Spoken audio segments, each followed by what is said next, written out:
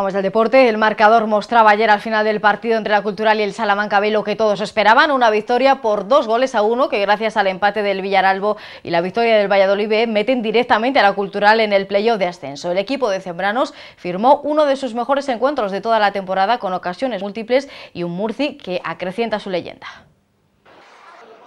El primer objetivo de la temporada está conseguido. La Cultural jugará el playoff de ascenso pase lo que pase en el último partido frente al Burgos. Los de Zembrano rubricaron ante el Salamanca B uno de los mejores encuentros de la campaña, si no el mejor, con una primera parte plagada de ocasiones, aunque con una suerte esquiva que no quiso que entrara el balón en la portería contraria y que incluso permitió al cuadro charro abrir el marcador.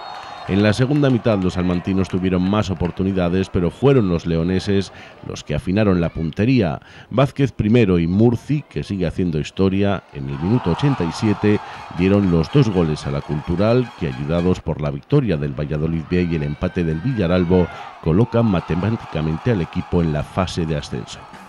Es lo que buscábamos, que bueno, nos ha costado y, hemos sufrido demasiado con todas las ocasiones que hemos tenido, pero lógicamente eh, la carga y eh, sobre todo emocional del partido, lo que estaba en juego, pues nos ha, nos ha pasado demasiada factura y no hemos estado tranquilos para encarrilar el partido desde el principio, creo que hemos sido superiores. Luis Zembranos no quiere confianzas y aspira a conseguir los tres puntos en el último partido en Burgos para quedar segundos y jugar la Copa del Rey la próxima temporada. Intentarlo la semana que viene luchar por esa segunda posición que nos va a dar opciones de jugar la Copa del Rey. Una vez superada la prueba en Burgos, la Cultural velará armas para un playoff que debe devolver al equipo leonés a la categoría que nunca debió abandonar.